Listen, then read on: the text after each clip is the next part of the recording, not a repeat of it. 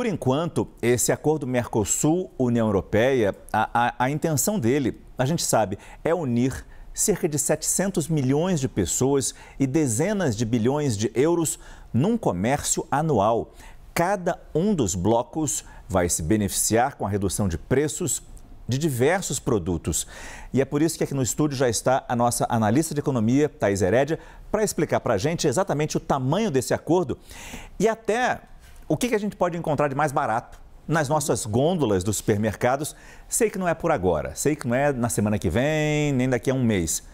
Mas seria tão bom se fosse, né? Ainda mais se realmente garantisse preço mais baixo de alguns produtos importados. Boa noite, Thaís Herédia. Oi, Márcio. Boa noite para você, boa noite a todos. Você sabe que muita coisa identificada como a, a Europa sendo o, o produtor de excelência, queijos, chocolates, vinhos, é, o Brasil passou a fazer queijo, chocolate e vinho maravilhosamente tão bem quanto os europeus. Olha o que aconteceu com o nosso queijo canastre, eleito o melhor queijo do mundo. Então, essa competição hoje, Márcio, ela está é, mais acirrada. Mas há outros setores da economia em que o Brasil está muito mais competitivo é, do que a Europa e outros em que a Europa está a léguas de distância do Brasil. E esses é, são setores que têm, inclusive, conteúdo mais tecnológico, tem mais inovação inovação, mais investimentos.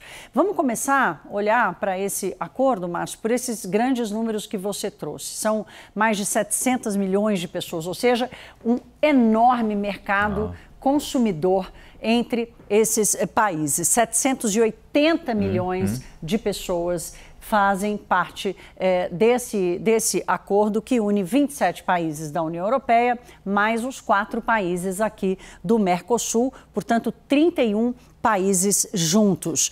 O PIB somado, ou seja, a riqueza gerada anualmente por esses 31 países, chega a 19 trilhões de euros. Isso aqui não chega, Márcio. O PIB dos Estados Unidos, por exemplo, é maior que isso. Uhum. Em, em dólar, o PIB dos Estados Unidos chega hoje a 24, trilhões de dólares. O Brasil está em dois. Mas vamos olhar isso aqui como é, o bloco vira a terceira maior economia do mundo. Né? 19 trilhões de euros, é, provavelmente hoje, em números reais, mais até do que a China. Então, hum. ficamos entre, fazendo parte desse bloco, ficamos entre a segunda e a terceira, entre aspas, maior economia do mundo. E são 122 bilhões de euros em comércio anual. 6, 122 bilhões de euros em comércio anual dá mais ou menos um trilhão de reais em comércio anual.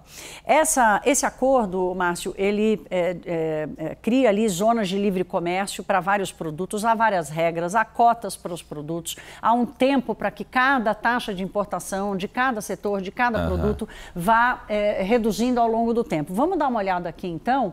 É, nesses produtos tanto para nós quanto para eles, é, o quanto isso pode gerar de queda nos preços, porque hoje são produtos que sofrem uma taxa de, de, importação altíssima. O Brasil é um país extremamente fechado, o Mercosul é muito fechado, tem uma taxa de importação altíssima. Pois bem, do lado do Mercosul, aquilo que nós vamos é, é, nos beneficiar é, do que chega da União Europeia, os carros, principalmente por causa dos carros elétricos, máquinas e equipamentos produtos químicos, que na Europa eles têm, e aqui está incluído produtos farmacêuticos, uhum. eles são muito avançados, é um, um, setor extremamente competitivo.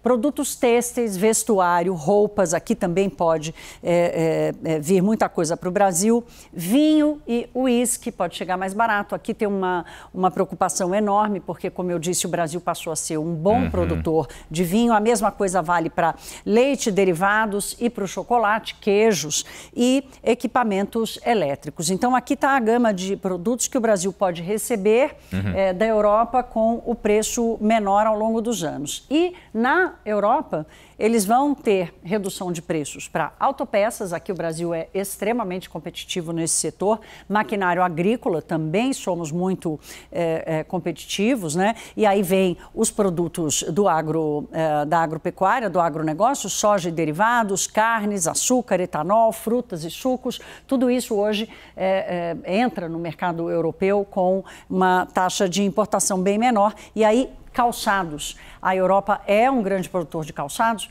mas o Brasil, em termos de calçados de couro, nós somos um país que tem uma, uma competitividade muito maior em termos de calçados, Márcio.